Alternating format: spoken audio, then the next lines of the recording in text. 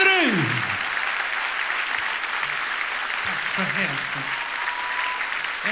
En enorm ära att ha dig här ikväll. Du, kan inte du berätta för mig om den här låten? Hur, hur kom den till? Den kom till... eh, Jag kommer ihåg att jag skulle gå på ett möte och så satt jag hemma i soffan med min lilla babygitarr. Det är som en liten gitarr. Så spelade jag den på en sträng. Så blev det en sån här liten sorglig låt och sen så blev det så här till slut med tre trummisar och massa kör och så. Så kan det gå till. Hoppas du kommer att skriva många låtar på den gitarren. En fantastisk låt. Mina damer och herrar, Arne Brun!